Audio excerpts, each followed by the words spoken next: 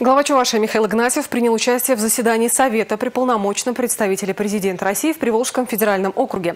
В Нижнем Новгороде Михаил Бабич, глава регионов ПФО, руководитель окружных территориальных органов, общественных организаций обсудили развитие рынка жилищного строительства в регионах округа.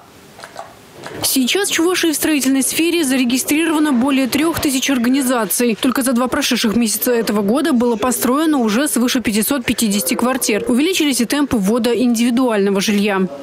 Президент России Владимир Путин перед нами поставил задачу полтора раза увеличить объемы строительства жилья. Цифры вы слышали, я напомню, если по факту прошлого года 80 миллионов квадратных метров жилья, вот в перспективе предстоящих 6 лет мы должны вести по Российской Федерации 120 миллионов квадратных метров и должны получить жилье нуждающееся.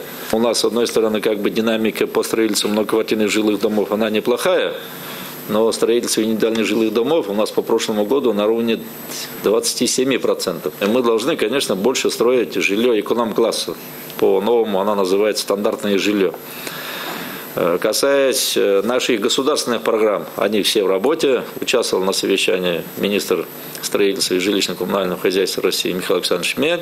Там они дополнительные сейчас предложения подготовили. Мы тоже давали свои предложения для того, чтобы, по крайней мере, еще наиболее благоприятную среду создавать для строительных организаций, для предпринимателей. Кроме того, на Совете говорили, насколько эффективно проходит капитальный ремонт. Зашла речь и о программе переселения из аварийного жилья. Она продолжит свое существование. Но в каких законодательных регламентах пока не ясно. Механизмы реализации еще обсуждаются.